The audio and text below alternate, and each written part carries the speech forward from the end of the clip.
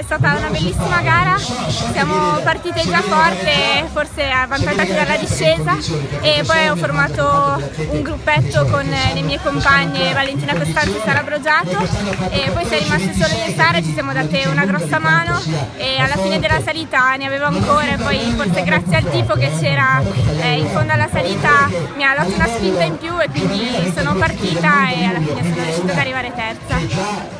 È sempre bello correre qui a Pettinengo, il percorso è molto duro, io so, sapevo oggi che avrei fatto molta fatica perché sono un po' indietro con eh, la preparazione. Eh, dopo l'infortunio sto recuperando, sto crescendo di condizione, quindi oggi era importante per me fare un test qui e è andata bene, il pubblico eh, fa sempre il tifo per noi italiani, quindi è bellissimo correre qui, grazie.